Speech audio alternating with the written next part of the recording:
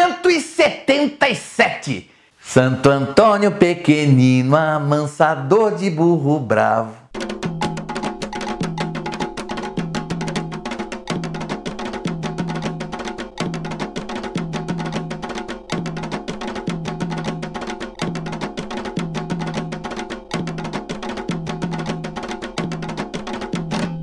Quem mexer com tranca-rua tá mexendo com o diabo.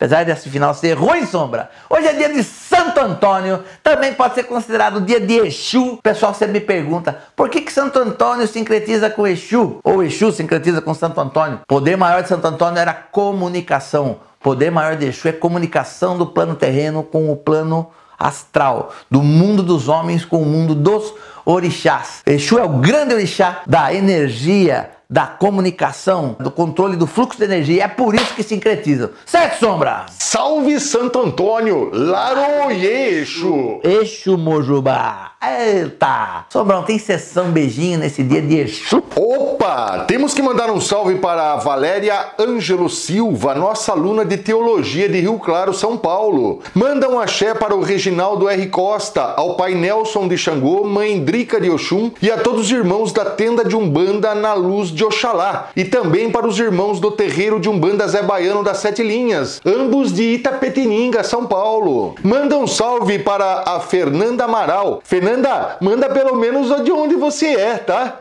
E manda também um axé, Márcio, para Juscelie Vieira e William, de Indaiatuba, São Paulo. Galera do espaço! Muita gratidão esse prestígio com o nosso trabalho. Sabe o que nós desejamos para você? Abraço do Mandiboa, axé do Mandiboa e que Oxalá abençoe a todos vocês. Sombra como não é para deixar de ser, mesmo no dia de Exu. Nós vamos com a comunicação das respostas. Pergunta número 1. Um. Então senta que lá vem história. Pera, deixa eu me preparar psicologicamente para o ato.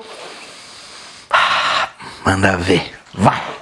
Frequento uma casa de umbanda há três anos, onde sou médium em desenvolvimento. As entidades como Caboclo e Preto Velho já aparecem, mas ainda não deram nome. Quando cantamos para Oxum, eu recebo manifestação também. Porém, a mãe da casa me alertou desde o início que a manifestação que eu recebo trata-se de orixá, que eu teria caminho no candomblé. Nos últimos dois meses, essa manifestação tem tido certa resistência para sair. Fui orientada para jogar búzios e no jogo se falou que a minha iniciação é no candomblé, pois seria essa manifestação do orixá querendo me levar para o desenvolvimento espiritual lá. Durante todo esse tempo que estou na Umbanda, eu não frequentei nenhum terreiro de candomblé. Gostaria de saber se é verdade que existe essa necessidade de iniciação fora da Umbanda, pois amo muito a minha casa e os ensinamentos umbandistas. Presta muita atenção no que eu vou falar agora, galera. Tudo que eu falo são opiniões e conjecturas particulares da minha pessoa, pautadas nos meus estudos, pautadas nos meus anos de mediunidade, de um bandista, de experiências. Eu acho isso uma grande de uma bobagem. Antes de dar a resposta, eu quero ilustrar uma situação que no começo da minha jornada umbandista eu estava passando por alguns problemas, inclusive meu problema de visão que eu carrego hoje. E olha como que a espiritualidade tem misericórdia, como a Umbanda me, ajudou. Meu problema é extremamente grave, mas isso não podou a minha vida em absolutamente nada. Eu trabalho, eu leio, eu estudo, eu escrevo, gravo vídeo, sou professor. Gente, isso não atrapalha minha vida em nada, mas eu fui uma vez uma mãe de santo de candomblé e ela foi, foi, foi, foi, foi, e no final ela falou assim: "Sua vida não vai prosperar de jeito nenhum se você não fizer o sacrifício de um animal assim, assim, assim, assim assado". E eu falei assim: "Então tá bom, então minha vida não vai prosperar porque eu não vou fazer o sacrifício". Essa história faz o quê? Uns 18 anos, acho. 18 anos atrás, e eu nunca fiz. Pessoalmente, eu me neguei e eu recebo as bênçãos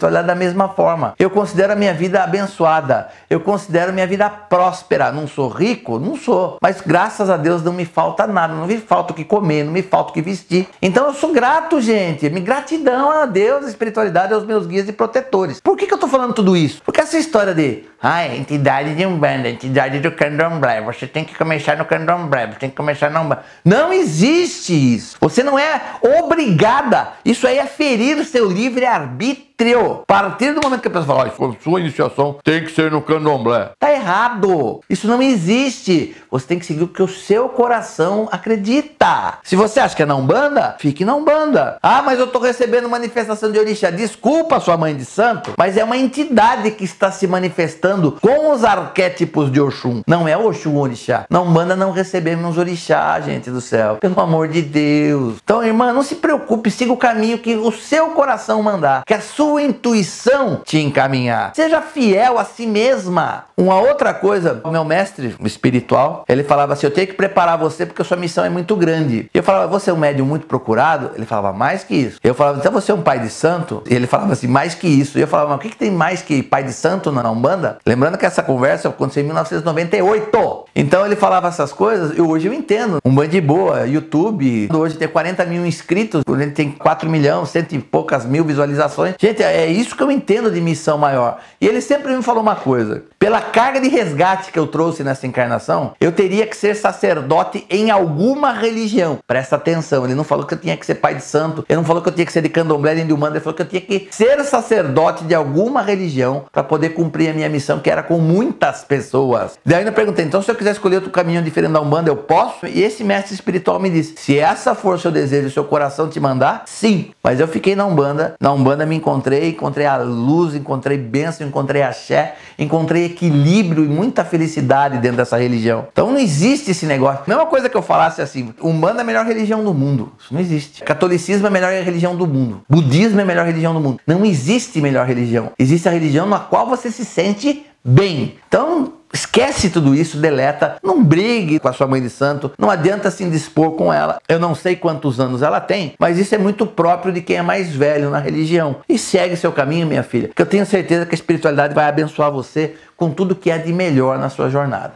Certo, Sombra? Certo, bela resposta. E longa também, hein, Márcio? Desculpa aí, Sombrão. Não é pra ferrar com a sua edição, não, viu? Mas vamos lá, Sombra. Vamos lá para a questão número 2. Vou sair do centro que frequento há 10 anos. Tenho observado algumas condutas do dirigente com as quais não concordo. Márcio, eu sou obrigado a ir até ele e pedir para ele tirar a mão de pai de santo da minha cabeça para eu poder frequentar outro terreiro? Essa história de mão de pai de santo da cabeça, gente, de verdade. Quando a pessoa acredita muito nisso, eu acho que ela tem que pedir. Eu não acredito. Eu acredito que o pai de santo é como se fosse uma pessoa que vai na frente com a luz, levando os filhos adiante. Agora, se você acha que deve, pede, mas na minha opinião, você não tem que conversar com ele para pedir para tirar a mão de pai de santo. Eu acho que você tem que ir pelo respeito, afinal de contas foram 10 anos. Converse com ele, fale que você vai se recolher, que você vai dar um tempo por enquanto e que você queria agradecer tudo que a casa fez, mas que no momento você vai se dedicar a outras coisas. Sai numa boa, meu irmão, deixa a porta aberta. E daí você vai procurar outro espaço sem problema nenhum. Você não precisa abrir sua vida do que você vai fazer para ele. Mas você tem que comunicar a sua saída. Eu acho que é uma questão, acima de tudo, de educação e respeito. Daí a pessoa fala assim: ah, mas o pai de santa não está tendo educação e respeito comigo. Se ele errou, que você não cometa o mesmo erro. Cada um pague pelos seus próprios erros, meu filho. Mas não. Eu acho que se você também está muito implicado,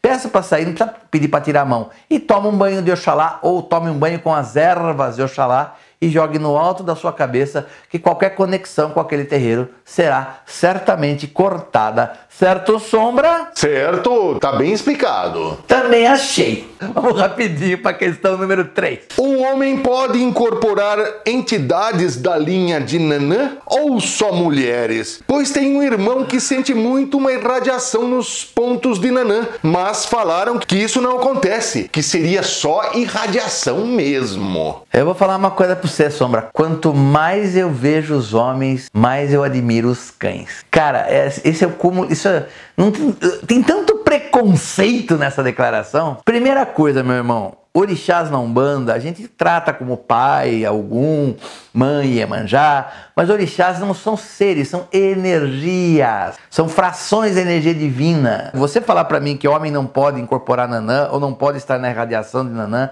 não pode ter entidades que vibrem na irradiação de Nanã, é tão absurdo isso, que é a mesma coisa que a gente pudesse falar assim, olha, o sol é só para os homens e a lua só para as mulheres. Então o homem tem que ficar na rua durante o dia e se recolher à noite. E mulher tem que ficar guardada de dia e sair à noite. Gente, não tem cabimento. Energias são para todos. Lembre que a orixá Nanã, ela não é um ser, uma pessoa. Ela é uma energia que carrega uma série de qualidades e virtudes. Você precisa, eu também, de todas as vibrações, de todos os orixás. Não dá para viver sem a vibração de Nanã, como não dá para viver sem a vibração de Ogum, sem a vibração de Obaloaê, de Oxóssi ou de Oxalá. Por favor, gente, tá na hora de parar com isso. É a mesma coisa que fala assim: homem não incorpora a pombagira. Ah, é? Por que não? Vai ficar efeminado? Só se você for louco, se você tiver preconceito para acreditar numa bobagem dessa. Eu não trabalho com a minha pombagira, mas eu incorporo sim a minha pombagira. Ela tem que deixar o axé dela comigo, até para equilibrar a força de Exu e para equilibrar um monte de coisa na minha vida, tanto material quanto espiritual. Então, temos que parar com essa história de preconceito, irmão. Acho que minha resposta foi mais do que suficiente, não, Sombra?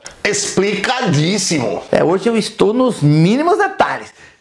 Cidadão, Dia de Exu, não esqueça de fazer a sua firmezinha para Exu. Quer ser uma velhinha branca para Santo Antônio? Bacana. Quer ser uma velhinha vermelha e preta para Exu, com marafo? Ou para sinhar, com champanhe, com cigarro, com alguma coisa que você queira dar? Hoje é o dia. Tem uma vibração, existe uma egrégora nesse dia das pessoas que sincretizam Santo Antônio com Exu. Então hoje é um dia especial para a gente entrar nessa força maior de Exu. Se você tá nessa, vai ficar cada vez melhor. Sem Exu não se faz nada na Umbanda. Isso é uma coisa que todo mundo tem que entender, certo? Eu quero saber de você, se quinta-feira você voltará a estar conosco. Porque é assim, um bando de boa, né? Terça e quinta PTD, sábado, um novo vídeo com um tema mais profundo, mas estamos sempre aqui junto de vocês. E o PTD é assim, respondendo as perguntas do meu povo do jeito que ele gosta.